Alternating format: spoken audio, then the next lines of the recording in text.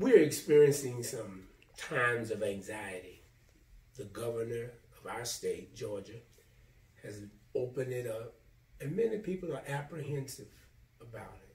There's an anxiousness.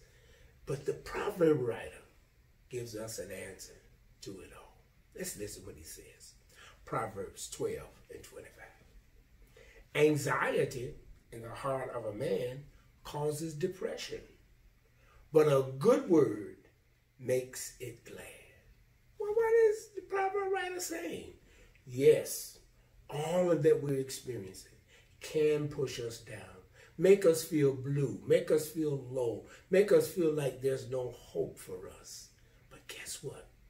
The Word of God provides that hope. Listen to what he says. He says, but a good word, not just any word. So let's drop the O out of good and say, a God word makes us glad. And each time we hear, read, or even meditate on the Word of God, that spirit of depression, that spirit of being down, that spirit of being blue will leave. It'll go because the Word of God lifts us and helps us. Listen to what the psalmist says I will hide that word in my heart that I might not sin against God. And as a result, you and I can live a happier, glad, and if you will, anxiety free life by listening at the Word of God. Can I encourage you to do that? Let us pray. Father, in the name of Jesus, we know in these times that we are in now, unlike any other, men and women, even boys and girls, having that feeling of anxiety.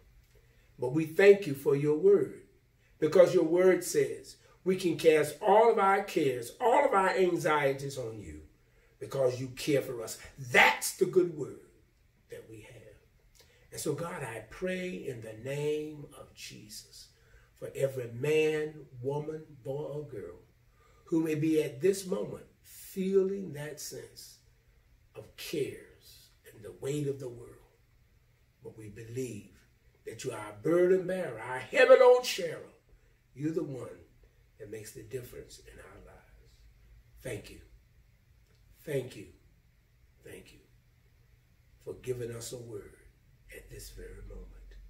In Jesus' name, amen. Amen. Thank you. And we can be anxiety free when we hear good word, the God